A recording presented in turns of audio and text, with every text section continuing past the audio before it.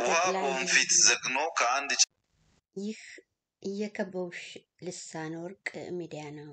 የከበቡሽ ልሳነ ወርቅ ሚዲያ በሀገረ ስዊዘርላንድ ዙሪክ ክፍለ ሀገር ዊንተርቱር ከተማ በተወሰኑ በውስጥነት ላይ ያተኮሩ ተግባራትን ይከውናል። አዘጋጇ እኔ ስርጉተ ስላሴ ሰብለ ህይወት ነኝ። በ15 11 2022 እንደ አውሮፓውያኑ ዘመን አቆጣጠር ጠቅላይ ሚኒስትር አብይ አህመድ በፓርላማ ላይ ተገኝተው ለተነሱ ጥያቄዎች መልስ ሰጥተዋል። ያው መልስ ብቻ ነው የሚሰጡት እንጂ የሚፈልጉትን ብቻ ጥያቄ ይመልሳሉ፣ የማይፈልጉትን ይዘላሉ፣ የሚፈልጉትን ያትበሰብሳሉ፣ የሚፈልጉትን ደግሞ አዲስ አቅጣጫ ይሰጡበታል ማለት ነው። እኔ እንደውም እንደ ጋዜጣዊ መግለጫ ነው ማየው።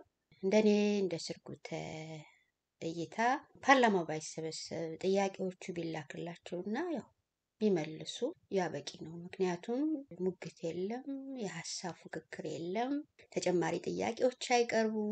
በቃ በታገተ፣ በታሰረ፣ በተወጠረ ጭንቀት በሰፈነበት ሁኔታ ነው ፓርላማው ውይይት የሚያደርገው እና ይሄንን የማልወደው ነውም የፓርላማ ስብሰባ ነው ወይንም የፓርላማ ጉባኤ ነው ብዬም አላስ ያው ጥያቄውን ያቀረቡት አብን ተወካይ የፓርላማ ተወካይ አቶ አበባው ደሳለው ነበሩ። የግድ መወያየት እና መነጋገር ይኖርብናል። ለታሪክ መቀመጥ እንዲህ እንድንወያይባቸው እንገ- እንገደዳለን። እሳቸውም ጊዜ ጠብቀው መልስ የሚሰጡት ጉዳይ አለ። አሁን በደቡብ አፍሪካ በህዋትና በኢትዮጵያ መንግስት የተካሄደውን ውይይት ንግግር አስመልክቶ በዛ ላይ ነው ዋናው ነጥቡ። ሌላው ጉዳይ የኢኮኖሚው የፓርኩ አጃቢ ነገር ነው እና በወልቃይት ጉዳይ ሸፍጣቸው የተገለጠበት ጸረ አማራነታቸው ፍንትው ብሎ የታየበት ጸረ ኢትዮጵያዊነታቸው በእውነት የታየበት እና እውነት ላይ ለመቆም ምን ያህል እንደተቸገሩ የታየበት ነው።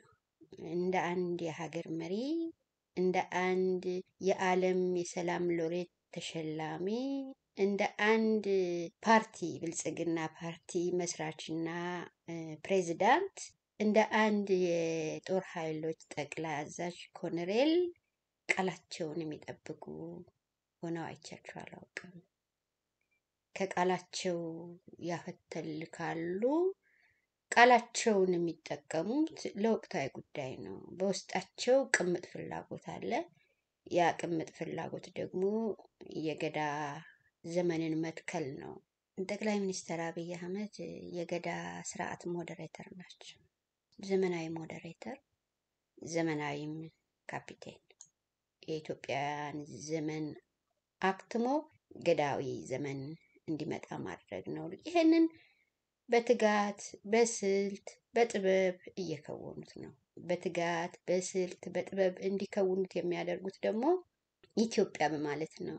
ለዚህ ሶላቸው ለዚህ ጉዝጓዛቸው የሚነጠፍላቸው የአማራ ልሂቃን የአማራ የፖለቲካ ልሂቃን የአማራ የፖለቲካ ሊቃውንት ለሳቸው በቃ በታማኝነት የሚያገለግሉ ጥሩ ሰረገላዎቻቸው ናቸው እና የወልቃይትን ጥያቄ ከመነሻው ጀምሮ የዲያስፖራ ጥያቄ ነው ብለው መቀሌ ላይ ተናግረዋል። ከዛ በኋላ የሚወሰዱ እርምጃዎች ከዛ ተከትሎ ወይዘሮ ኬሪያ ኢብራሂምን በፌዴሬሽን ምክር ቤት አድርገው አስቀጥቅጠውታል። ከዛ ቀጥሎ የአማራ ክልል ሰላሙ ተጠብቆ እንዳይንቀሳቀስ ዘጠና ሺህ አማራዎች በማዕከላዊ ጎንደር ተፈናቅለው ነበረ። በዚያ አማራ ልሂቃን ሲባክኑ ነበር። ከዛም በተጨማሪ ሰሜን ፓርክ ቃጠሎም አይተናል። ከዛ በመጨረሻ ያደረጉት ነገር የአማራ ልሂቃናትን በአደባባይ ሂዶ መጨፍጨፍ ነው። ኦፕሬሽን ሰርተው ጨፈጨፉ፣ አንድም ሳያስቀሩ። በታሪክ እንደምታውቁት ዘጠና ደቂቃ በኢንተቤ የሚለው ኢትዮጵያ ምድር የተፈጸመው ባህር ዳር ላይ ነው። በጨረፍታ አዲስ አበባ ላይም ተከውኗል። እሳቸው ከመጡ ጊዜ ጀምሮ እንግዲህ መስተዳደሮች በስፋት ነው የተቀየሩት። ወደ አምስት መስተዳደር የተቀየሩት ምክትሎችን ሳንጨምር። ቤንሻንጉል ጉሙዝ ላይ ግን አንድም ሰው አልተቀየረም። ሶማሌ ክልል ያው እሳቸው የመ- የመደቧቸው አቶ ሙስጠፌ ናቸው የሚገኙት እና ያሉት። ጋምቤላም እሳቸው ከመጡ አንድ ጊዜ ለውጥ አለ።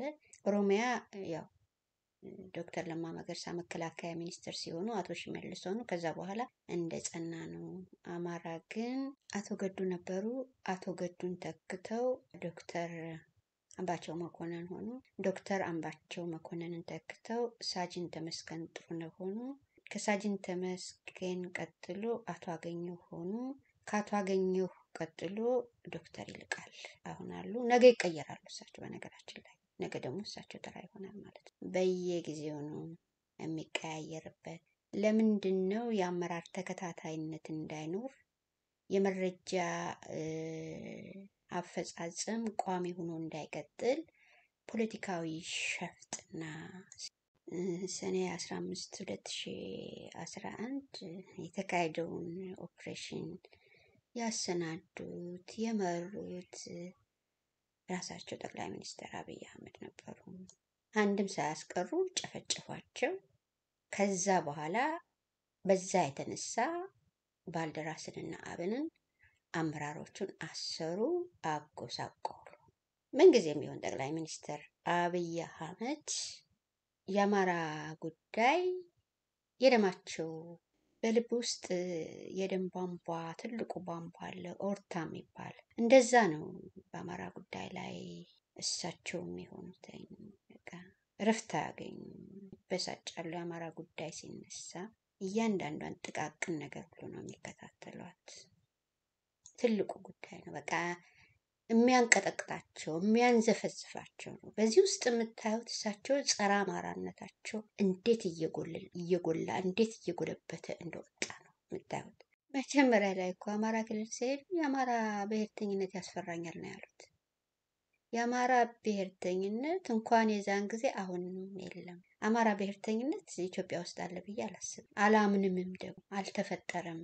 ይገርመኛል የአማራ ብሔርተኛ ነኝ የሚሉ ሰዎች ሳይ የአማራ ብሔርተኝነት የለም፣ አልተፈጠረም።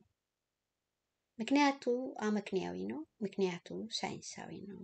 ይህ አጀንዳዬ ባለመሆኑ ለጊዜው አቆየዋል። አዲስ አበባ ላይም ሲነሳ የሚያንደፈድፋቸው ይሄ ነው። ምክንያቱም አዲስ አበባ ከሀምሳ በመቶ ብዙሃኑ አማራ ነው። ያ ለሳቸው አልተመቸም። ስለዚህ ያንን ግርዶሽ ሰርተው የሚያልፉበት ዘመን ይፈልጋሉ እና በአዲስ አበባ ጉዳይም እንዲሁ ሴንሲቲቭ ናቸው። ከዛ በተረፈ በከተሞች ጉዳይም ላይ ሴንሲቲቭ ናቸው። ምክንያቱም ከተሞችን በማበጀት ረገድ የጎላ ድርሻ አማራ አለው እና በዛ የጎላ ድርሻው ሁሉ ዱቄት እንዲሆን አመድ እንዲሆን ሰርተውበታል፣ ተግተውበታል፣ ወደፊትም ይተጋሉ። አሁን ደግሞ የአማራን ጥሪቶች የመንፈስ ቅርሶች እየዞሩ እያደኑ ነቀላ በማካሄድ ላይ ናቸው ያሉ፣ በመበወ- በመበወዝ ላይ ነው ያሉ። አንዱ የጎርጎራ ፕሮጀክት ነው። አልወደድኩትም ጭራሽ እኔ አልፈልገውም። እኔ በሳቸው የጎርጎራ ፕሮጀክት እንዲሰራ አልፈልግም። የጀመረው አትሌት ኃይሌ ነበር። ከሱ ነጥቀው ነው ፕሮጀክቱን የጀመሩት ማለት ነው። እና መርዝ ነው የሚተክሉት እሳቸው መርዝ በእያንዳንዱ ቦታ መርዝ እየተከሉ ነው የሚሄዱት። በዚሁ ስብሰባ ላይ የወልቃይትን ጉዳይ አንስተዋል። ያው ባጀት ሳይመድቡ እንደባጁ ይታወቃል። እና አዲስ ወልቃይት የሚል ማንነት ሰጥተዋል። ገዳ ሂዶ ሊሰፍር ነው። ገዳ ሂዶ ወረራ ሊያካሂድ ነው። ገዳ ሂዶ አስምሌሽን ሊፈጽም ነው። ከአምስት ከአስር ዓመት በኋላ የሚሆነው ይሄ ነው የሚሆነው እና ወልቃይቴ የሚባል ማንነት ኑሮ አያውቅም። ያለው ማንነት ጎንደሬ ነው። አማራ ማንነት አለ ጎንደር ላይ፣ ጎንደር ማንነት አለ። ቅማንት ማንነት አለ ጎንደር ላይ። ቤተ እስራኤላዊነት ማንነት አለ። ሃይማኖትም እስልምና አለ፣ ክርስትና አለ፣ ቤተ እስራኤላዊነት አለ። ያለው ያነ ነው። ራሱ ንቅናቄው ሲነሳ ወልቃይት ብረሳሽ ቀኝ ትርሳኝ ተብሎ ነው የተነሳ። ወልቃይት አማራ ነው ነው ትግሉ። አማራነት ወንጀል አይደለም ነው ትግሉ የነበረው። አሁን ወልቃይቴዎቹ ወልቃይት ነው የሚሉት። ከዛ ያለፈ ጥያቄ የላቸውም። ወልጋዳ አማርኛ ነው የሚናገሩት። ወልጋዳ ትግረኛ ነው የሚናገሩት። ቅይጥ ማንነት አላቸው እንደ ራያ እያሉ ነው ያሉት። አሁን ራያንም ራሱን አስችለው እንደሚያወጡት ነው ምልክት እየሰጡ ያሉትኝ። እርግጥ ያለአያ ጉዳይ ጎልቶ አልተነሳም። ሌላው በስምምነቱ ላይ ለሰላም ነው የሄድነው፣ ጦርነት ለማ- ለማስቆም ነው የሄድነው እንጂ በወልቃይት ጉዳይ አይደለም። ተነስተዋል። የወልቃይት ጉዳይ ተነስተዋል። አወዛጋቢ ቦታዎች ተብሎ የተነሳው በአንቀጽ በድንጋጌ ነው። የወልቃይት ጉዳይ ነው የተባበሩት መንግስታት ድርጅት አስራ ሶስት ጊዜ ብድግ ቁጭ ያደረገው። ራያንማ ህወሓት እኮ ይዞታል። አፋርንም አፋርንማ ይዞታል እኮ አዳርቃይን፣ አዲረመጽን፣ ጠለምትን እኮ ህወሓት ይዞታል። የሚፈልገው ሰቲት ሁመራን ነው። ሰቲት ሁመራ የሚፈልግበት ደግሞ የውጭ border ለማግኘት ነው። የውጭ border ካገኘ ደግሞ ታላቋን ትግራይ የመመስረት ህልሙን ለማሳካት ነው። እስከ ቤንሻንጉል እስከ ጋምቤላ የሚደርስ እቅድ ነው ያለው ህወሓት እና አሁን እሳቸው ያም ቦታ በኦህዴድ ስር እንዲወድቅ ነው የሚፈልጉት እና ወልቃይት የሚባል ማንነት የለም። ያለው ጎንደሬነት፣ አማራነት ብቻ ነው። ከዛ ውጭ አይደለም እና ሰቆጣ ላይ ሄደው አክሱምን የሰራችሁ እናንተ ናችሁ ሁሉ ብለዋል። በቃ በየሄዱበት ቦታ መርዝ መትከል ይፈልጋሉ። ደቡብን ከሶስት በት ነው ያው መከራው ግን አላለቀ። ደቡብ ሲንቀሳቀሱ አቶ ሽመልስ አብዲሳ አብረው ይሄዳሉ። ለምን እንደሆነ ታውቃላችሁ? already ደቡብ በኦሮሚያ ስር ሆኗል። ስልቱ ያነ ነው። ነገም ሰቲት ላይ ይሄ ይደገማል። ጠብቁት። አንድ ነገር ለማገናዘቢያ ላቅርብ። አዲስ አበባ ላይ የሚከበሩ ማናቸውም ነገሮች በዋዜማው አቶ ሽመልስ አብዲሳ መግለጫ ይሰጣሉ፣ ወይንም በማግስቱ ከበዓሉ ዕለት በማግስቱ መግለጫ ይሰጣል። ይህ ለምን እንደሆነ ታውቃላችሁ? አዲስ አበባ ለኦሮሚያ ከተሰጠች ቆየች። መስከረም አምስት ሁለት ሺ አስራ አንድ ነው የተሰጠችው እና በአትኩሮት በአስተውሎት ተከታተሉት። የኮበሌ ፖለቲካ አታርጉት። ፖለቲካውን መከራው አላለቀም እና ወልቃይትን ጉዳይ አጣመው አወላግደው አቅርበውታል። እሱን እያዳመጥኩ መልስ የምሰጥበት ይሆናል። አብራችሁኝ ትሆኑ ዘንድ በትህትና ጠይቃችኋለሁ። አወዛጋቢም አሳቻ አሳቻ መሪ ናቸው የምለው ለዚህ ነው። አንድ ጊዜም ከኩታራን መሪና ከህዳር ዝናብ ያለ ናችሁ ብዬ አንድ አውዲዮ ሰርቼ ነበረ እና ጠቅላይ ሚኒስትር አብይን በፍጹም በፍጹም የሚያውቃቸው ፖለቲከኛ አልተገኘም። ዓለምም ያወቃቸው አይመስለኝም። እሳቸውን በፍጹም አላጠናቸውም። በጣም አደገኛ ሰው ናቸው። ለዓለም ለወደፊትም ቢሆን በጣም አደገኛ የሚሆኑ ሰው ናቸው። የማይቻለው በውጊያ ሰርክል ውስጥ የምንሽከረከር ከሆነም የምናስባቸውን ጉዳዮች ልናሳካ አንችልም። አንድን ነገር ለማስቀጠል ከፈለግን ሌላ ነገር መተው ይኖርብናል። ሰላምና ብልጽግናን ለማስቀጠል ሲባል ጦርነት ማቆም በእጅጉ ያስፈልጋል። ሁላችሁም ታውቃላችሁ። ለእናንተ መንገድ አይ- አይጠበቅብኝም። የምንዋጋው ከአንድ ግንባር ጋር አይደለም። ለአንድ ሳምንት ቢሆን እሺ ችግር የለው፣ ለአንድ ወር ቢሆን ችግር የለው። እየቀጠለ ከሄደ ግን እንደ ሀገር እንደቃለን። ለሰላማችን ለብልጽግናችን ስንል ነው ጦርነት ማቆምን ቀዳሚ ምርጫ የምንወስደው። በግል እንዳላችሁት ነው። በግል የሚሰማን ስሜት ብዙዎቻችሁ እንደምትሉት ነው። እናንተ እንድትገነዘቡልኝ የምፈልገው ነገር እዛ ጋር ሆኖ ይሄንን ብርጭቆ ማየትና እዚህ ጋር ሆኖ ይሄንን ብርጭቆ ማየት ለየቅል ነው። እኔ እዛ ጋር ሆኜ ኢትዮጵያን ሳያት ድሮ አሁን ባለሁበት ሆኜ ኢትዮጵያን ሳያት በጣም በጣም የተለያዩ ነገሮች ናቸው። ያገላለጽ logical ነው፣ ትክክልም ነው። እኔም አምንበት። ከግል ፍላጎት፣ ከግል ስሜት፣ ከግል ምናምን ውጪ እቺ ብርጭቆ እንዳትሰበር የሚደረገው ጥንቃቄ መልኩ የተለየ ነው። ይሄን በተቻለ መጠን እንድትገነዘቡ አደራ ማለት እፈልጋለሁ። ኮሽታ ይሰማል። የኔ አይደለም። ከዛ ጥንቃቄ ስለማይደረግ ነው። እንዲያውም የትንፋሽን መውጣትና መውረድ በመሀል ያሉ ረዣዥም ትንፋሾችን edit አድርጌያቸዋለሁ። ሁለተኛው ሀሳብ የሰላም መጥፎ የጦርነት ጥሩ ደግሞ የለው። ሰላም ሁሌም ጥሩ ነው። ጦርነት ሁሌም እያሸነፍክም ቢሆን መጥፎ ነው። ይሄም ትክክል ነው። እኔም አምንበታለሁኝ። ምክንያቱም ሰው ትገላለህ፣ ዶላር ትተኩሳለህ። ዶላር እየተፋህና ሰው እየገደልክ የሚገኝ ጥቅም እና ጥሩ ነገር የለም። ሁሌም ጦርነት መጥፎ ነገር ሁሌም ሰላም ደግሞ ጥሩ ነገር ነገር ግን የኢትዮጵያን ሕልውና የኢትዮጵያን ልዕ- ልዕልና የኢትዮጵያን አንድነት የሚገዳደር ነገር ሲፈጠር የሚገዳደር ነገር ሲፈጠር ያ ነገር በሰላም መፍትሄ የማያገኝ ከሆነ መፋለም ግዴታ ነው። ትናንትም ነበር፣ ነገም ይቀጥላል። በዚህም እኔ እስማማለሁ። አንጻራዊ በሆነ ሁኔታ ወደ ጦርነት የማይወስዱ መንገዶች ግን ቀድሞ ሊሰራባቸው ይገባል። የእልህና የጉልበት ፖለቲካ ትውልድን አጭዷል፣ አባክኗል። ምን ሲሆን አንድነታችንን፣ ልዕልናችንን፣ national interest ኣችን ሲነካ ከአንድነትና ከሉዓላዊነት በላይ ለአንድ ሀገር ምንም ነገር የለም እና በዚህ ጉዳይ ላይ የኢትዮጵያ ሕዝብም አይደራደርም። ከዚያ በመለስ ባለው ጉዳይ እነዚህን ነገሮች ማዳን ከተቻለ መነጋገር ክፉ አይደለም። የማይገባኝ ግን የአማራ ልሂቃን፣ የክልሉ መሪዎች ከዛ በላይ ሆነው ነው ኦፕሬሽን ተሰርተው የተጨፈጨፉት። ለሌላው ያለው ትዕግስት እዛ ላይ ትዕግስት የሚያጡበት ምክንያት ምንድን ነው? ጦርነት አልነበረም ቀድሞ ነገር። መነጋገር መስማማት ክፉ አይደለም ነው የሚሉ። አዎ አቅል ላለው አደብ ካለው ትዕግስት ላለው መሪ ክፉ አይደለም። ድርድርም ካለ ንግግርም ካለ ውይይትም ካለ ለኢትዮጵያ አንድነት፣ ለኢትዮጵያ እድገት፣ ለኢትዮጵያ ሰላም ብቻ ነው። ለኢትዮጵያ ሰላም አንድነትና እድገት ድርድር እንኳን አፍሪካ ውስጥ ሌላም ቦታ ካለ እንሄዳለን። ደግሞ ሄደናል እኮ ባለፈው ሳምንት። ለሀገር ጥቅም ሲባል መሄድ የማንፈልግባቸው ቦታዎችን ቢሆን እንሄዳለን።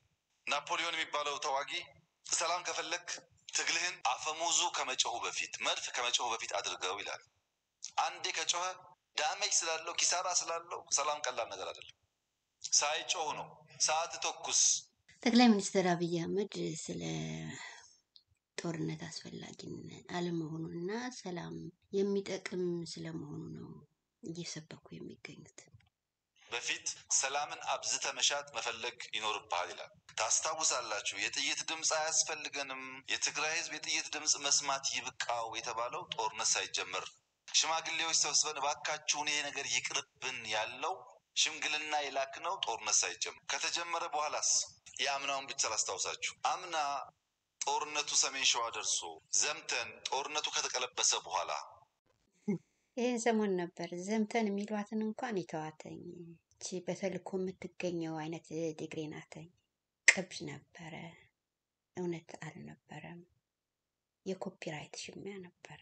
በብዙዎቻችን ውስጥ የአሸናፊነት ስሜት ከተፈጠረ በኋላ እስረኞች እንፍታ ስንል ስንት ወዳጆቻችን፣ ደጋፊዎቻችን የተቀየሙት ያኮረፉት ይዘነጋል። ጊዜ ለምን ፈታን? ያን በማድረግ ሰላም ማጽናት ከተቻ በሀገር ደረጃ ደግሞ ሲታይ በጦርነት ውስጥ ንግድና ትርፍ የሚያገኙ ሰዎች ሰላም የሚባል ነገር ድርድር የሚባል ነገር አይመቻቸውም አሉ። ሁለተኛው ጦርነት የማይመቻቸው ደግሞ ሰዎች አሉ።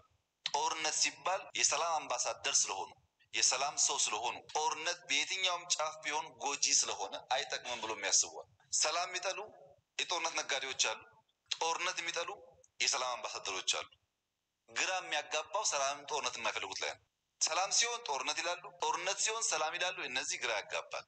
ግራ የሚያጋባ እና መልስ ልሰጥበት የሚቸገረው ጉዳይ ነው። ነገር ግን ውስጣዊ ሰላም የሌላቸው ሰዎች፣ ውስጣዊ እረፍት የሌላቸው ሰዎች በውጭ የሰላም አየር መተንፈስ ማየት አይችሉም። ውጫቸው የተናደ ነው። ከሁሉም ነገር ውስጥ ችግር መዘው ችግር ማየት ይፈልጋሉ። ለእኛ ግን ከዚህ ቀደም እንዳልነው አሁንም እንደምንለው ሰላም በእጅጉ ያስፈልገናል። ሰላም ማለት የጦርነት አለመኖር ብቻ ግን አይደለም፣ የህግ መከበር ማለት ነው። የህግና ስርዓት መከበር ማለት ነው። ቶክስ ሳይኖር ህግና ስርዓት የማይከበር ከሆነም ከሞላ ጎደል የሰው ሰላም ይናጋል። ህግና ስርዓት በሀገራችን እንዲከበር የሚደረገው ማንኛውም ንግግርና ድርድር የሚጎዳ አድርጌ አልወስደውም። በሰላም ተምሳሌትነት ከሚወሰዱ አስር ገደማ እንስሳቶች አንዱ ጉጉት ነው። ጉጉት የሰላም ምልክት ተደርጎ ይወሰዳል። አስተዋይ ስለሆነ፣ ትዕግስተኛ ስለሆነ፣ ሰላማዊ ስለሆነ ጉጉት እስከ ስልሳ ዓመት ይኖራል። እድሜው የመርዘሙ ምስጢር ከግጭት እና ካላስፈላጊ አደጋ ራሱን የመጠበቅ ልምምዱ ነው። እኛ እንደ ሀገር ለመጽናትና ለመቀጠል በተቻለ መጠን ትዕግስተኞች፣ አስተዋዮች እና ሰላም ፈላጊዎች መሆናችን ጠቃሚ ይሆናል። ይህ ማለት ግን ችግር የለብንም ማለት ነው እንዴ? አይደለም። አንድ ሺህ አንድ ችግር ነው ያለው። ከአዲስ አበባ እንኳን ተመርጠው ከአዲስ አበባ ጋር ለመነጋገር ችግር አለ። ከጌዲዮ እንኳን ተመርጠው ከጌዲዮ ለመነጋገር ችግር አለ። የችግር ብዛት ያለበት ሀገር ነው ይሄ። ነገር ግን መነጋገር፣ መደማመጥ፣ መልሶ መመርመር፣ መጨረስ ከጦርነት ውጭ ይቻላል። መነጋገር ስንል መቀመጥና ለውይይት ዝግጁ መሆን የሚያመላክት ቢሆንም ግን መደማመጥ ከሌለበት መነጋገር ብቻውን ውጤት አያመጣም። ከውስጥ መደማመጥ አንደኛ የሌላኛውን pain ማድመጥ ሲጀምር ወደኋላ ተመልሶ ተዋግተን ምን አገኘን፣ ምን ትርፍ መጣ፣ ከግጭት ምን እናገኛለን ብሎ ከመረመረ win win በሆነ approach ለመጨረስ ዝግጁ ከሆነ ግን ችግሮቻችን ይፈታሉ ይፈታሉ።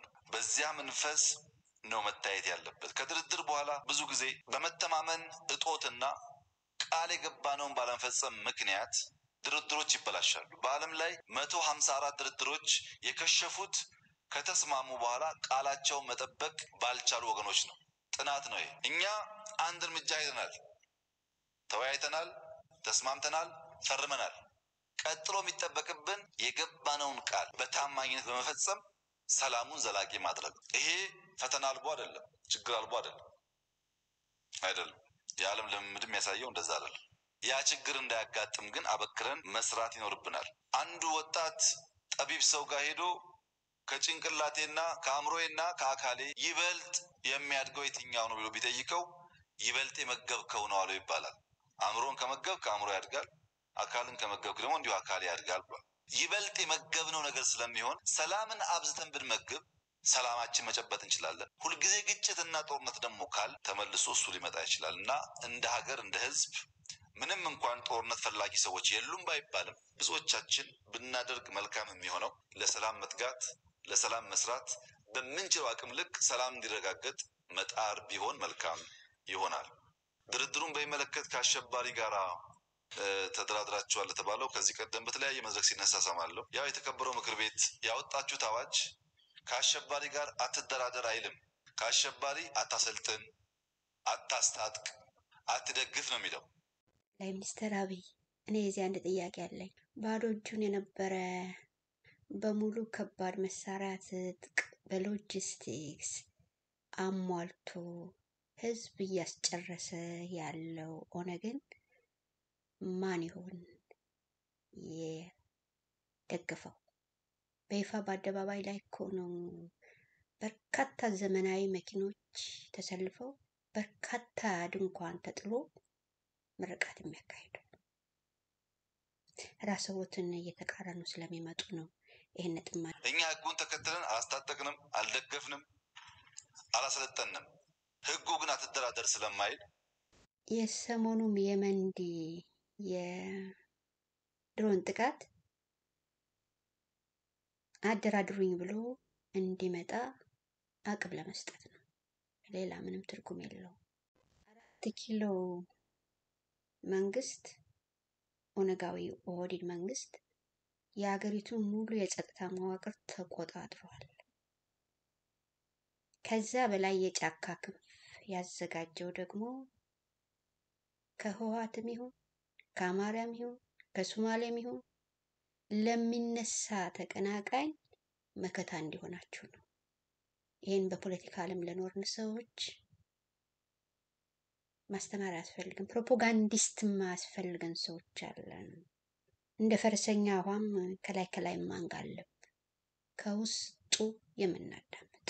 ሁለተኛው የዓለም ልምድን ማየት ጠቃሚ ይሆናል። አሜሪካ ታሊባንን ለሀያ ዓመት ለሀያ ዓመት አሸባሪ ብላ ሰይማለች። ታሊባን ጋር ግን የአሜሪካ ፕሬዝዳንት በስልክ ጋር እንኳን እንዳወሩ በይፋ ይናገራሉ፣ ይደራደራሉ። በንግግር ውስጥ የሚገኝ ትርፍ ካለ በሚል ማለት ነው እና አሸባሪ የተባለ ኃይል ጋር መነጋገር ሰላም እስካመጣ ድረስ ሽብር የማያስቀጥል እስከሆነ ድረስ ክፉ አይደለም። ነገር ግን እርሶም እንዳሉት በሰላም ሞክረን የታሰሩ ሰዎች የተባለው በጣም ጥሩ ስራ ነው። አሁንም ቀጥሉበት። እናንተ የምታደርጉት ጥረት ካለ ሰላም እንዲመጣ ሰዎች እንዳይታሰሩ መግባባት እንዲፈጠር የሚደረግ ጥረት ካለ ቀጥሉበት። አንድ ጊዜ ኖ ስለተባለ የሚቆም ነገር አይደለም። እሱ ጥሩ ስራ ይመስለኛል። ከዚህ ቀደም አቶ ክርስቲያን መሰለኝ ያነሱት ይሄ ነገር ቢቀጥል ጥሩ ነው። አሁን ግን TPLF ጋር ተደራድራችሁ ጋዜጠኛ ይታሰራል ላሉት ጋዜጠኛ እኛን ስለሰደበ እኛን ስለወቀሰ አይታሰርም። ያው እርሶም እንደሚያውቁት የተለያየ ወንጀል ይኖራል የሚጠየቁበት። እነሱም ቢሆኑ ጸባያቸውን አርቀው ጸባያቸውን አርመው ተስተካክለው ከወንጀል ነፃ ሆነው በቅርርብና በሰለጠነ መንገድ ብንሰራ መጥፎ አይደለም። እነሱም በማሰር የሚገኝ ጥቅም የለም ጥቅም የለም እና ያንን መልካም ሙከራ እንደ ፓርቲ እንደ ግል የምታደርጉትን ብታጠናክሩት ጥሩ ነው። መፍትሄ የሚያመጣ ብዬ ነው የማስበው። እንደተባለው ሳይሆን በንግግር ውስጥ ኪሳራ የለም። አንዳንዴ ላይመች ይችላል። ገፍታችሁ ያ ነገር ፈር እንዲይዝ ብትደግፉ ኃላፊነታችሁም ነው፣ ጠቃሚም ይመስለኛል። ለሀገርም በመጥፎ አላየውም፣ ቢቀጥል ባይነኝ። እሱ ከወልቃይት ጋር በተያያዘ ያነሱት ጥያቄ ብዙ አነባለሁ፣ ብዙም ሰማለሁ። ወልቃይትን በሚመለከት የሚነገሩ ሽረባዎች፣ ሴራዎች cons የወልቃይት ጉዳይ የሽረባ የሴራ ጉዳይ አይደለም። የእውነት ጉዳይ ነው። የመርህ ጉዳይ ነው። የ fact ጉዳይ ነው። የታሪክ ጉዳይ ነው። የትውፊት ጉዳይ ነው። የደም ጉዳይ ነው። የማንነት ጉዳይ ነው። ብዙ ሰማለሁ። የኢትዮጵያ መንግስት በእነዚህ ሽረባዎች ውስጥ እጁ የለበትም። እስኪ ጠቅላይ ሚኒስትር አብይ አህመድ ይችን አረፍተ ነገር ደግሞ ይናገራል። የኢትዮጵያ መንግስት በእነዚህ ሽረባዎች ውስጥ እጁ የለበትም።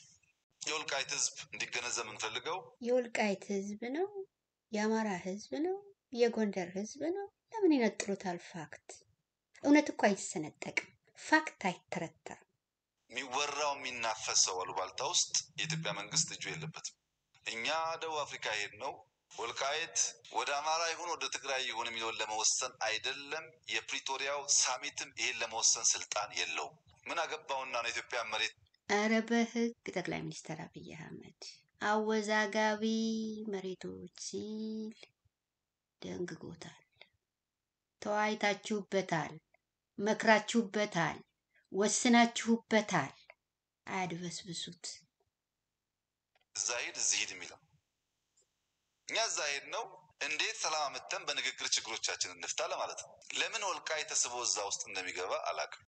ለምን ወልቃይት ከዛ ተስቦ እንደሚገባ አላውቅም ብለዋል።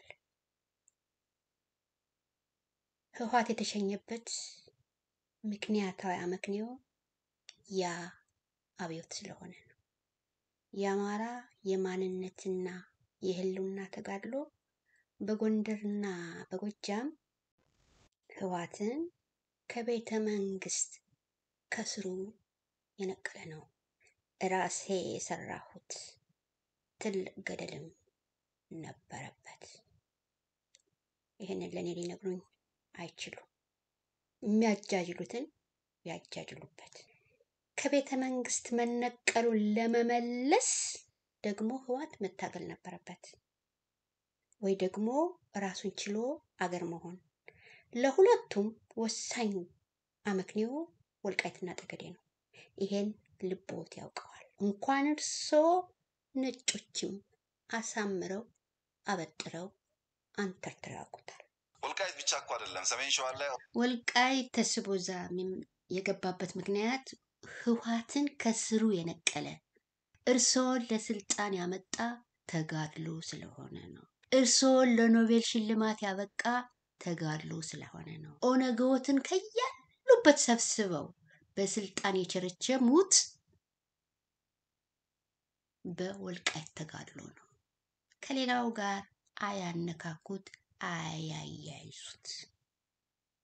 ላይ ኦሮሚያና አማራ ጥያቄ አላቸው። እሱም ደቡብ አፍሪካ ሂድ። ሲዳማና ወላይታ ብላቴ ጥያቄ አላቸው። እሱም ደቡብ አፍሪካ ሂድ። እኛ አሰራር የለንም፣ ልምምድ የለንም። ካለ ቦታ ያመጡት አመክንዮ ነው።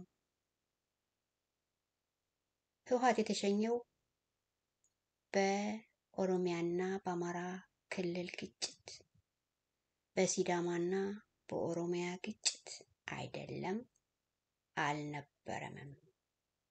ለማገናዘቢያ ያመጡት የዋንቢ ሳይኮሎጂ ነው።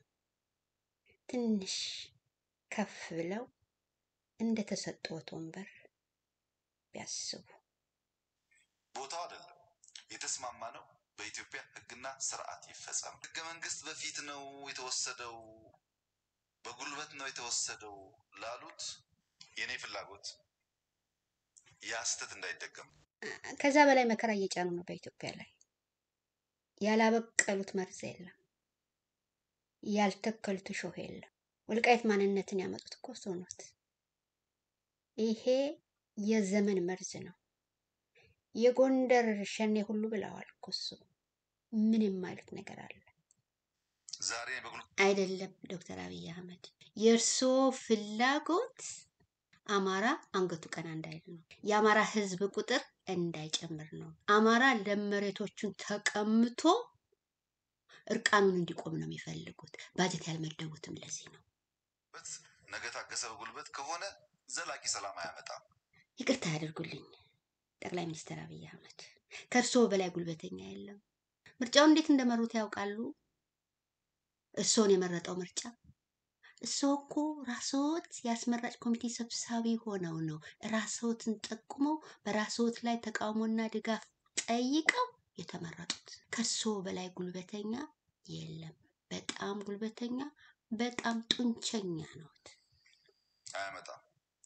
ወልቃይት ብንፈልግም ባንፈልግም የተወላገደ አማርኛ የተወላገደ ትግረኛ የሚናገር ውሸት ውሸት ውሸት፣ ቁልጭ ያለ ውሸት። የተወላገደ አማርኛ የተወላገደ ትግረኛ አይናገርም ወልቃይት። ሰባት ዓመት ሙሉ ታፍኖ የተያዘ ህዝብ ነው። አማርኛ ቋንቋ እንዳይናገር አማራዊ ማንነቱን ተቀምቶ ተቀጥቅጦ የተገዛ ሁለት ትውልድ ነው። ሁለት ትውልድ በዛ አካባቢ አማርኛ ቋንቋ እንዳይነገር ተደርገዋል። ይህ አንዱ ፋክት ነው። ጀርመን ላደገ ወጣት ጀርመንኛ ነው የሚናገረው። ስፔን ቢያድግም ስፔንኛ፣ አውስትራሊያ ቢያድግም እንግሊዘኛ። ልክ እንደዛ ነው። ከሆነም ለማለት ወልቃይት ዘፈኑም ትምህርቱም ኑሮውም ሀዘኑም እንጉርጉሮውም አማርኛ ነው። ከዚህ በላይ ኦሮሚያ ተወልዶ ያደገ አማራ አክሰንቱም ቋንቋውም ኦሮምኛ ይሆናል። ቀደም ብዬ እንደገለጽኩትም ጀርመን፣ ስፔን እና አሜሪካ ያደገ ወጣት ደግሞ እንደ ሀገርኛው ቃናውና ቋንቋ ይሆናል። ግን ማንነቱ አይቀየርም። ማንነት ሸቀጥ አይደለም። ማንነት በገበያ ሕግ አይተዳደርም። ወይንም ማንነት በችሮታ አይገኝም። ከእርሶ የምናገኘው ችሮታ የለም። ይህን ይወቁ። ትግረኛ የሚናገር የሁለቱ ህዝቦች ድልድይ የሆነ ህዝብ ነው። ሁለቱም ቋንቋ የሚናገር የተጋባ የተዋለደ ህዝብ ወልቃይቴነቱን ነው አትንኩብኝ ያለው እንጂ ከእንግዲህ ውሸታም አይሆኑ። ወልቃይቴነት አትንኩብኝ አይደለም። ወልቃይት አማራ ነው፣ ጎንደሬ ነው ነው ያለው። ክልሉ አማራ፣ መሬቱ አማራ፣ እኛም አማራዎች ነው ያለን ያለው። ጎጃም ላይ አበበ የተሰዋ እኮ ወልቃይት ብረሳሽ ቀኜ ትርሳሽ ብሎ ነው። ከብሔራዊ እስከ አህጉራዊ ከአህጉራዊ እስከ ግሎባል ንቅናቄ የተደረገው ወልቃይቴ ተብሎ አይደለም። የአማራ የማንነትና የህልውና ተጋድሎ ተብሎ ነው። አያፋልሱ፣ አመክንዮን አይቀጥቅጡ፣ እውነትን አይቅበሩ፣ መርህን ለስቅላት አይዳርጉ። ወልቃይት የሚባል ማንነት የለም። ያለው ማንነት ጎንደሬነት፣ አማራነት፣ ቅማንትነት፣ ቤተ እስራኤላዊነት ነው ጎንደር ውስጥ ያለው። እንግዲህ በኋላ ትግራይ የሚባል ጋር አልገናኝም አልነጋገርም አላለም። አይችልም ቢልም እረ በህግ በህግ አምላክ ሊነጋገር የሚችለው ከጎንደር ጋር ነው፣ ከወልቃይት ጋር አይደለም። ወልቃይት ብቻ አይደለም፣ ጠገዴም አለ። ወልቃይት፣ ጠገዴ፣ ጠለምት፣ አዳርቃይ አለ። የዚህ ወኪሉ ጭንቅላቱ፣ አንጎሉ፣ እጨጌው ጎንደር ነው። ቁርጦትን ያውቁ። በእርስዎ ዲስኩር የማንማልል ሰዎች ያለንበት ይህም በህግና በስርዓት ብንፈጽም ለወልቃይት ይጠቅማል፣ ለአማራ ይጠቅማል፣ ለትግራይ ይጠቅማል። የሚጎዳው ነገር የለም። በህግና ስርዓት እንፈጽም የሚለውን ነገር ከብዙ ተንኮል ጋር ማያያዝም አስፈላጊ አይደለም። የተንኮልና የሴራ ቸረቸራ የቀውስ ባጀት የሚንጣት ኢትዮጵያ መሪዋ ማን እንደሆን ታውቃለች። ትርታዋት ያለ በቀውስ ባጀት ነው። ቀውስ ይጠነስሳሉ፣ ቀውስ ያደራጃሉ፣ ቀውስን ይመራሉ፣ ቀውስን ያስፈጽማሉ። አምስት ዓመት ያየሁት ከእርሶ ይህንኑ ነው። እርስዎ እንዳሉት ነው። ዶክተር አብይ እርስዎን እንዳሉት ነው የሚሉት የአብኑ የፓርላማ ተወካይ አቶ አበባው ደሳለውን ነው። የወልቃይት የአማራ የማንነት ጉዳይ እስካሁን መልስ ሊያገኝ የሚገባው ነበር። ለዛውም በክብር ተከብሮ መልስ ሊሰጠው ይገባ ነበር። ነገር ግን እርስዎ ተንኮለኛ ስለሆኑ ነው። እርስዎ ሸረኛ ስለሆኑ ነው። እርስዎ አራንዛ ስለሆኑ ነው። እርስዎ አሳቻ ስለሆኑ ከእርስዎ የሚጠበቅ በጎ ነገር ስለሌለ እዛ አካባቢ ጥያቄ ረዘም ላለ ጊዜ ነበረ። ጎጃምና በጎንደር የአማራ ተጋድሎ ብቻ ሀያ ሺህ ወጣቶች ታስረዋል። ቀድመው ወህኒ፣ ቃሊቲ፣ ቅሊንጦ፣ ማዕከላዊ በየእስር ቤቱ በእርስዎ ሰላይነት ከታሰሩት በላይ በዛ case ብቻ ሀያ ሺህ የጎጃምና የጎንደር የአማራ ወጣቶች ታስረዋል። ትዳራቸው ተበትኗል። በሌሊት ሲደበደቡ ተገለዋል። ለዛ ብለን ነው ኮሚሽን ያቋቋምነው። ከዚህ ቀደም ገልጫለሁ። አሁንም ያ የውሸት ኮሚሽን ጥሩ ተዋናይ actor ነዎት፣ ለዛውም የ tragedy እነ አራት አይናማውን ዶክተር አምባቸው፣ አቶ ምግባሩ ከበደ፣ ነብዬ ጄኔራል አሳምነው ጽጌ ትንፋሽ ለመውሰድ ለማርገብ ብለው ያደረጉ ምን ሰራ? ፉርሽ ኮሚቴ መልሰው በትነው ደግሞ ሌላ አቋቋሙ። አይቀልዱ። ጊዜ ነበረ። ለዛ ብለን ኮሚሽን ያቋቋም ነው። ከዚህ ቀደም ገልጫለሁ። አሁንም ያንም የነበረን አቋም በህግ አግባብ በምክክር በውይይት ይፈታ የሚል ነው። ይሄ ማንንም በዚህ ንግግሮት ንጹህ ጸረ አማራ መሆኖትን አይቻለሁ። በጣም ንጹህ ጸረ አማራ፣ በጣም ንጹህ ጸረ ጎንደር፣ በጣም ንጹህ ጸረ ኢትዮጵያ መሆኖትን አውቃለሁ። ምክንያት ኢትዮጵያዊነት በአማራነት ውስጥ ትርፍ አጀንዳ አይደለም። እንደርሶ አማራ ምንም ቅምጥ ፍላጎት የለውም። ራሱን ማስከበር፣ በዛ ውስጥ ሀገሩን ማስከበር። ለአማራ ኢትዮጵያዊነት ደሙ ነው። አይ የዓለሙ የሰላም ሎሬት የሰላም አባት ትናንት ስለ ወልቃይት በፓርላማ ቀርበው ደግሞ ምን እንዳሉ ምን ብለው እንደነበር አብረን እናዳምጥ። ሪፎርም የሚባል ነገር ሳይፈጠር የወልቃይት ኮሚቴ እንደነበረ አታውቁም እናንተ? የኢትዮጵያ ሕዝብ አያውቅም? የወልቃይት ኮሚቴ የሚባል የዛሬ አምስትም አስርም ዓመት ሲጨቃጨቅ እንደነበረ የማያውቅ ሰው አለ እዚህ ውስጥ? ይሄ የወልቃይት ኮሚቴ ለፌዴሬሽን ምክር ቤት አቤቱታ ሊያቀርብ ሲመጣ ሱሉልታ ላይ መታሰሩን አታውቁም? ሰው አያውቅም? ይሄን ለምንድን ነው ታዲያ የቦርደር ኮሚሽን ብለን ያቋቋም ነው? ምን ፍለጋ ነው? ኮሚሽን እኮ የተቋቋመው ጥያቄ ስላለ ነው፣ ችግር ስላለ ነው። ኮሚሽኑን ጁንታው አልቀበልም ያለው እኮ ስራውን ስለሚያውቅ ነው። ፌዴራል ስርዓት የሚባለው የተፈጠረው አሁን ነው። ከጎንደር ክፍለ ሀገር ቆንጥሮ፣ ከወሎ ቆንጥሮ፣ ከጎጃም ቆንጥሮ አማራ ክልል፣ ከወለጋ ቆንጥሮ፣ ከምናምን ቆንጥሮ ኦሮሚያ ክልል ያለው አሁን ነው፣ አልነበረም እኮ እዚህ ላይ ማስተካከያ ከወለጋ ቆንጥሮ ከምናምን ቆንጥሮ አይበሉ።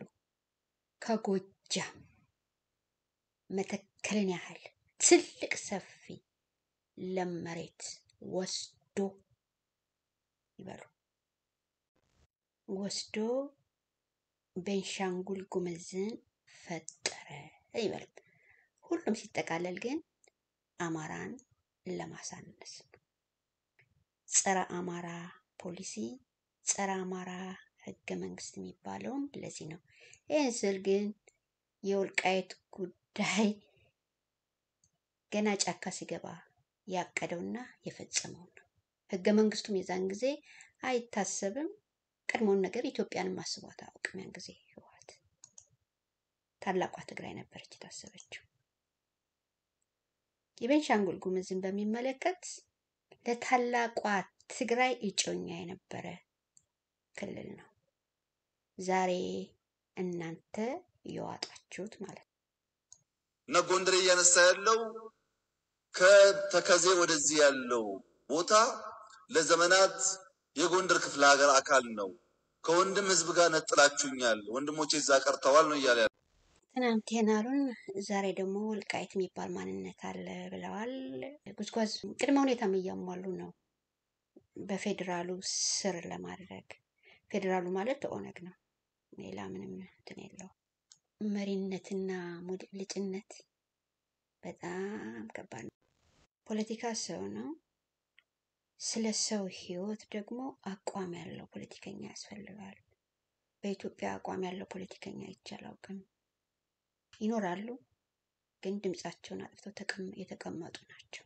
ክብሮቼ እየተከታተላችሁት የምትገኙት ስዊዘርላንድ ዙሪክ ክፍለ ሀገር ቪንተርቱር ከተማ የተዘጋጀውን የከቦች ልሳን ወርቅ ሚዲያ እይታ በወልቃይት እና ጠገዴ ጠለምት አዳርቃይና ድረመጽ ጉዳይ ነው።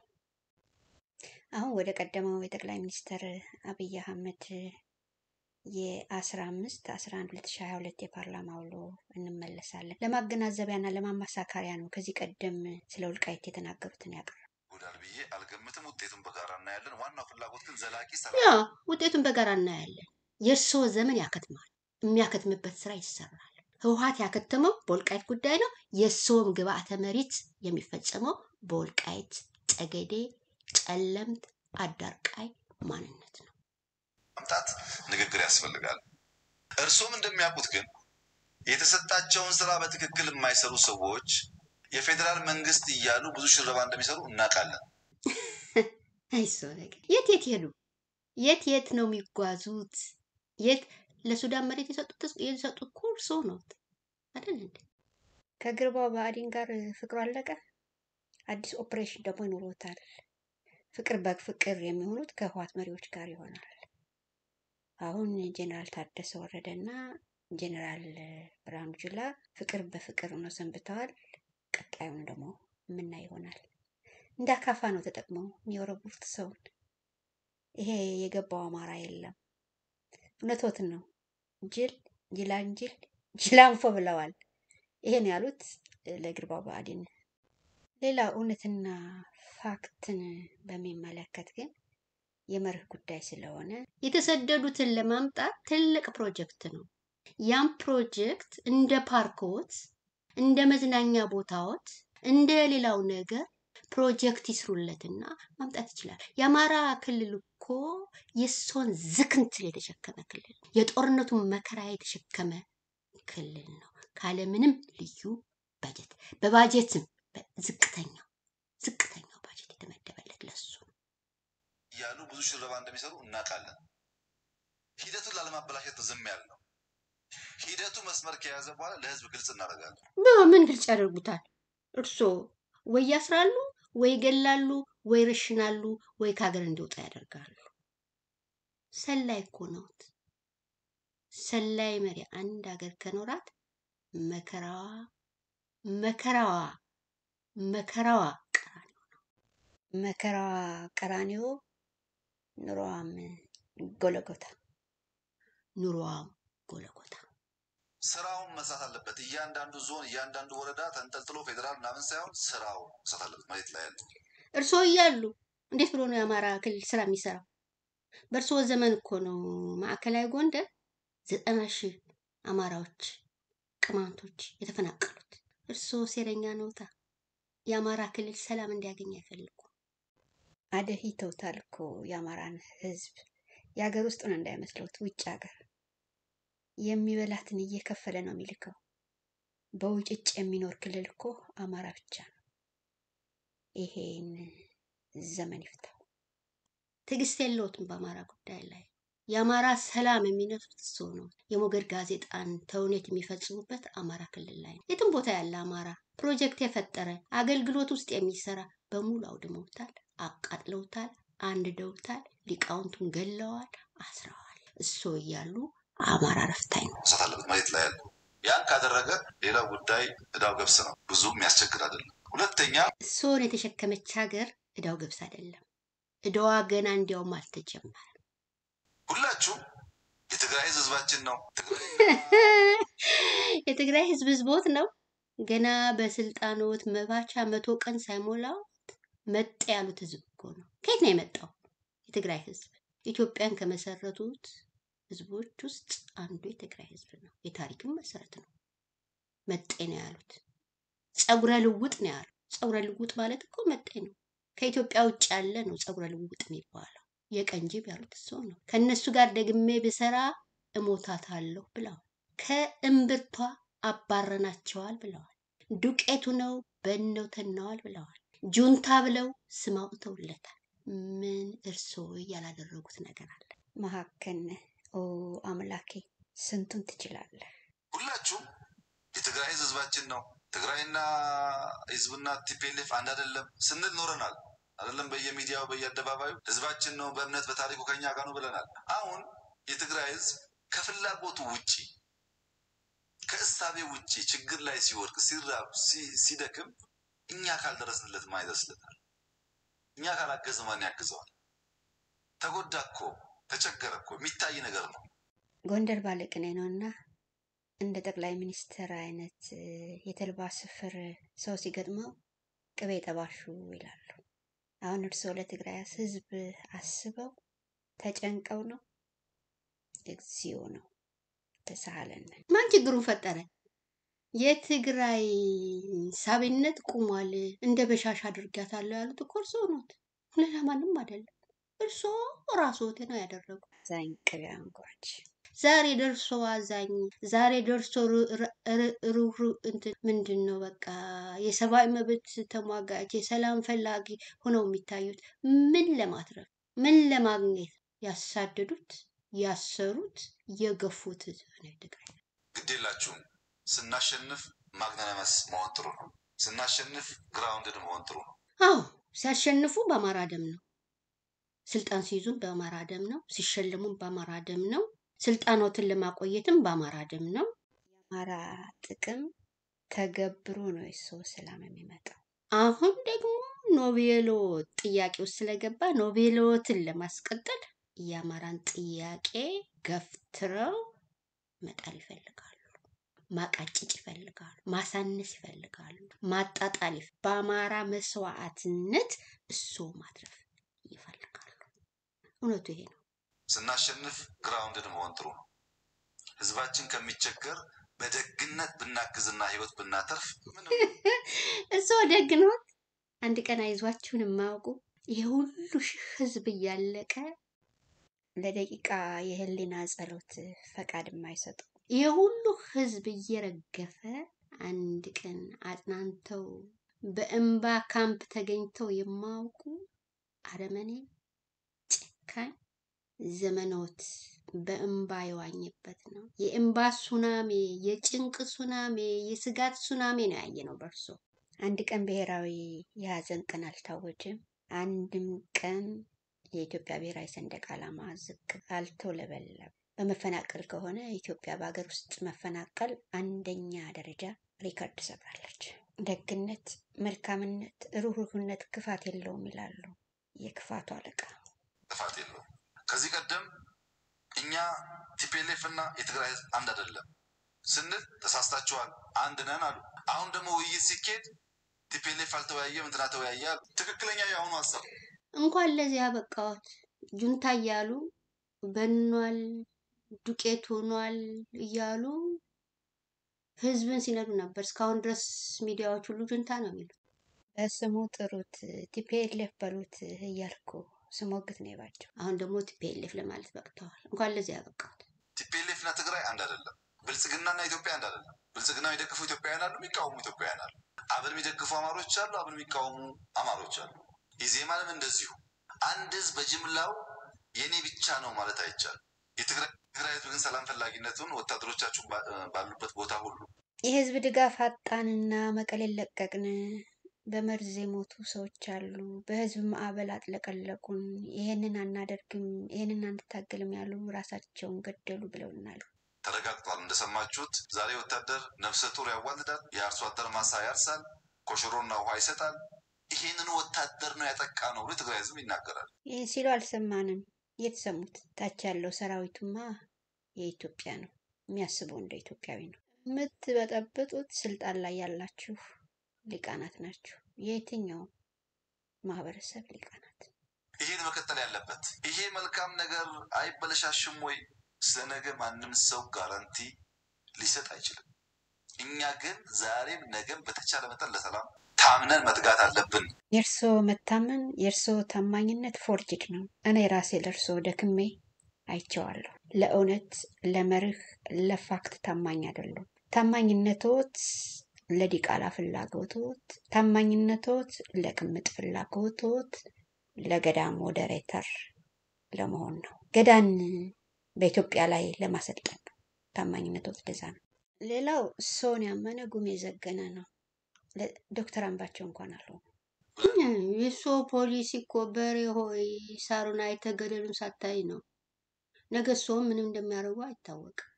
ምን እንደሚሰሩ አይታ- አይታወቅም። ሲነሪቲ አይወዱ፣ የሚበልጠውትን አይወዱ፣ ብቅ የሚለውን አይወዱ። ዲሽታጊና እንኳን አስቀንቶት ኧረ ስንት ጉድ ይዘረዘራል። መወሰን ያለብን እንጂ ምን እንደሚመጣ ከወዲሁ መናገር ያስቸግራል እና ድርድሩ በጣም ጥሩ ነገር ነው። ስምምነቱ በጣም ጥሩ ነገር ነው። ፍሬያማ ውጤታማ ድርድሩ በጣም ጥሩ ነገር ነው። ስምምነት በጣም ጥሩ ነገር ነው። ሰላም ጥሩ ነገር ነው። ግን እሱ ውስጥ ቀውስ የለም። በውስጦት ብዙ ቀውስ አለ። ወደ ብልጽግና ጉባኤ ይሂዱና ይመልከቱት። ምን ያህል ስጋት ውስጥ እንደነበሩ፣ ምን ያህል ምጥ ውስጥ እንደነበሩ። ያ ጉባኤ እውነቱን አውጥቶ የራሱን መሪ ይመርጣል ብለው ምን ያህል እንደተጨነቁና እንደተጠበቡ በምልሰት እዩትና ይታዘቡ። የተተኮሰባት ሚዳቋ ወይንም እንግዳ ዶሮ ነበር የመሰሉት። ስምምነቱ በጣም ጥሩ ነገር ነው። ፍሬያማ ውጤታማ እንዲሆን መደገፍ ያስፈልጋል። ሌላውንስ ተመካክረን ተወያይተን ተነጋግረን ተደማምጠን ፈር እናስይዘዋለን የሚል ዘላቂ ሰላም በሚያመጣ አግባብ ብናይ መልካም ይመስለኛል። ትግራይ ገብተን ያየነው ነገር ህዝቡ ሰላም በጣም እንደሚፈልግ፣ ውሃ እንደሚፈልግ፣ መብራት እንደሚፈልግ፣ ምግብ እንደሚፈልግ ከአማራ ወንድሞቹ፣ ከአፋር ወንድሞቹ፣ ከኦሮሞ ወንድሞቹ ምንም ችግር እንደሌለበት ነው ያየነው። ይህም ብናስቀጥል መልካም የሚሆን ይመስለኛል። በበኩሌ ሰላም እንዲመጣ ነው የምፈልገው። በመምጣቱም ደስተኛ ነኝ። ሰላሙ እንዳይበላሽም በታማኝነት የምችለው ሁሉ ጥረት ማድረግ ነው የምፈልገው።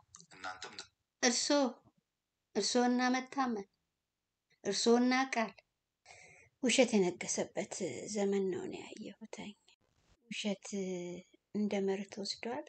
ውሸት እንደ ፋክት ተወስዷል እና አንድ ቀን የተናገሩትን ደግመውት አያውቅም። ምክንያቱም ውሸት ይረሳል።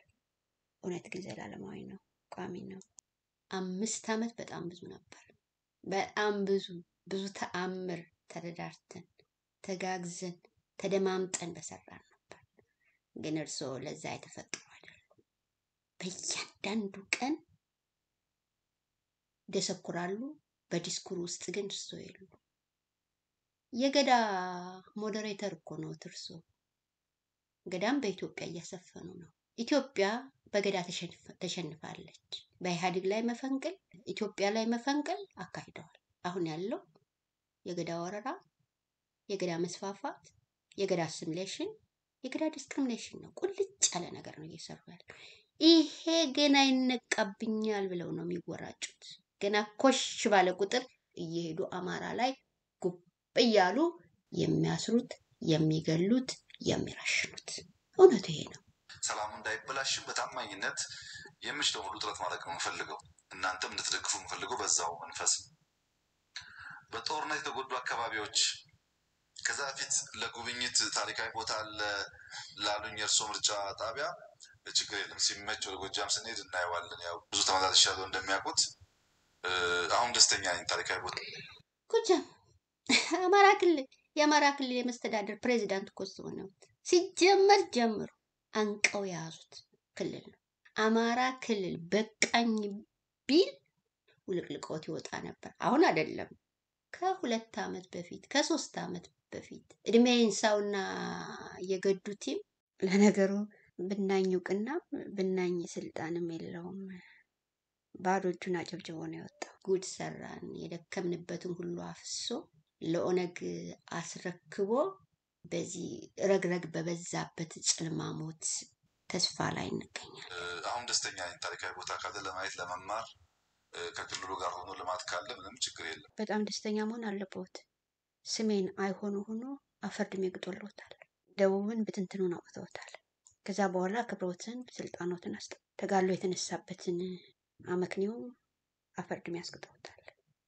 እ፣ ግን በዚሁ አጋጣሚ እርስዎም እንዲገነዘቡ በአማራ ክልል ውስጥ ከከሚሴ በስተቀረ ያልረገጥኩት ዞን የለም። በኦሮሚያ ውስጥ ያልረገጥኩት የለም። በደቡብ ውስጥ ሸካም የተባለው ጭምር አንድም ዞን ደቡብ ውስጥ ያልረገጥኩት ቦታ የለም እና አሁን ጥያቄው ከዞን ወደ ወረዳ ወርዷል። ጊዜው እየተገኘ ሲሄድ መጥፎ አይደለም። ብዙ የማናውቃቸው ነገሮች ስላሉ ብሄድ አተርፍ እንጂ እንደማላጎድል እርግጠኛ እርስዎ መሄድ ነው። ሲሄዱ ደግሞ ዲሞግራፊ ለመስራት ነው። የህሊና ነቀላ እና ተከላ፣ ገዳዊነትን፣ ኦነጋዊነትን፣ ኦሮሞማን መሬት ማሳት ነው ስራው። ገና እየፈለፈሉ ብዙ ብዙ ጉድ ያመጣሉ። ብዙ ብዙ ጉድ ይሰራሉ። ነኝ። አንድ ቀን ያው ጊዜው ሲደርስ አብረን እንሄዳለን ማለት ነው። ጦርነት የተጎዱ አካባቢዎች በሚመለከት ለጊዜው ሶስት ነገር ላይ አተኮር የሰራ ነው። በሶስት መከፍለ ናቸው። አንደኛው መደገፍ፣ ሰብአዊ እርዳታ፣ እህል፣ ማሳ ላይ ያለ ምርት ማጨድ፣ የታመመ ማከም፣ ማብላት፣ ማጠጣት፣ እርዳት። ይህን አቅም በፈቀደ መጠን እያደረገ እንገኛለን። ይጠናከራል። ሁለተኛው መገንባት ነው። ይህንንም የምታደርጉት ትግራይ ላይ ነው። ምክንያቱም ትግራይ ዓለምን ገዝቷል።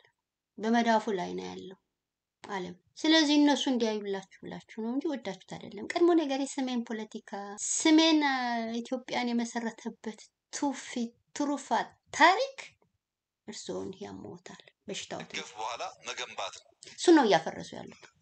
አንደኛው መሰረተ ልማት ነው የሚገነባው። ለምሳሌ ሰቆጣ አካባቢ ታስታውሳላችሁ፣ ላለፉት ስምንት ዘጠኝ ወራት አልነበረም መብራት። አሁን ሁለት ሰው ሳምንት እፎይታ ስናገኝ ተገንብቷል። መብራት ሰቆጣም አለ፣ አላማጣም አለ፣ ኮረምም አለ፣ ስልክም እንደዚሁ። ይሄ እየሰፋ በሄደ ቁጥር አቅም በፈቀደ መጠን እየተገነባ መሄድ ይሆናል። ትምህርትም፣ ጤናም፣ መንገድም ሁሉ መሰረተ ልማት አቅም በፈቀደ መጠን እየገነባን የምንሄድ ይሆናል። በጣም ፈጣን ይሄ የመገንባቱ ነገር ዓለምን በ inflation ናት፣ በዋጋ ግሽበት፣ ኢትዮጵያን በዋጋ ግሽበት ውስጥ ናት። ኮረናው አለ፣ ጦርነቱ አለ። በፍጥነት ለመስራት የሚያግዱ ብዙ ነገሮች አሉ። ቢሮክራሲው አለ፣ ሴራው አለ። በዚህ በፍጥነት ገነቡ አልገነቡ ብዬ አልሟገትም። ምክንያቱም ተጨባጭ ሁኔታ ስላለ ሁሉ መሰረተ ልማት አቅም በፈቀደ መጠን እየገነባን የምንሄድ ይሆናል። በጣም ፈጣን ምላሽ ነው የሰጠነው። ሰላም ተብሎ ሳምንት እንኳ ሳይቆጥ እውነት ነው። ይሄ አይካድም። በጣም ፈጣን ምላሽ ነው የሰጣችሁት። ለዚህ ትክክል ነው። መቶ percent ነው ትክክልነት። በማግስቱ team ተዋቅሮ ነው የእርዳታውም የመሰረተ ልማት ግንባታውም ግን ለምን ሲባል ዓለም አተኩሮ ስለማያችሁ ነው። ዓለም አተኩሮ ለማያቸው ለአፋርና ለአማራ ክልልማ ትዝ ብለዋችሁ አልቁ ፈጽሞ ስራ የጀመረው ሶስተኛው መመለስ ነው። የተፈናቀሉ ሰዎች ወደ ቀያቸው መመለስ ነው። ትግራይ ሽሬ አካባቢ ብቻ በሺ የሚቆጠሩ ሰዎች መከላከያ ወደ አዲያቦ ወደ ቦታቸው መልሷቸዋል። ከሽራሮ፣ ከአዳ ሀገራይ፣ ከአድዋላ፣ ከአድነብሪታ፣ ከራያ፣ ከወልዲያ፣ ከሰቆጣ የተፈናቀሉትን መመለስ ሰራዊቱ አግዟል። በዚህ ጉዳይ ላይ አላገዘም። ለምን? አማራ ሰው የለውማ፣ ዓለም የለውም። አማራ አንድም ግብረሰናይ አንድም የውጭ ሀገር መንግስት አይመለከትለትም። ስለዚህ ራሱን በራሱ በራሱ ልጆች መዋጮ ነው አሳሩን ሲያየባቸው። ትግራይ ግን ዓለም ቀጥሎ ይጠብቀውታል። ቀጥ ብሎ ነጭ ቤተ መንግስት እና ወደሽ ነው ቆማጢት ንጉስ ትመርቂ ነው ነገሩ። የጄኔቫው የጤና ድርጅት አምኒስቲ ኢንተርናሽናል፣ human right ኦች፣ ተመድ፣ ቀይ መስቀል የዓለሙ፣ የአሜሪካው ነጩ ቤተ መንግስት፣ ካናዳ፣ ጀርመን፣ አውስትራሊያ፣ ኖርዌይ፣ አይርላንድ፣ እንግሊዝ፣ ፈረንሳይን ጨምሮ ይህ ሁሉ ይጠብቀውታል። ለዚህ ነው እዛ ብድግ ቁጭ የሚሉት። ሀገራይ ከአድዋላ ከአድነብሪ ተፈናቅለው ወደ ሽሬ የሄዱ ሰዎች ወደ ቤታቸው የመመለስ ስራ የተሰራ ነው። ወደፊትም ተጠናክሮ ይቀጥላል። እኔ ወልቃይትን በሚመለከት እንዳላልፍ ሁለት ነገሮች አሉ።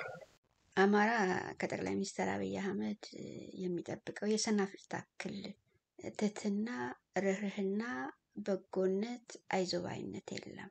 እግዚአብሔር አለው ለአማራ። ተስፋችን አምላካችን ነው።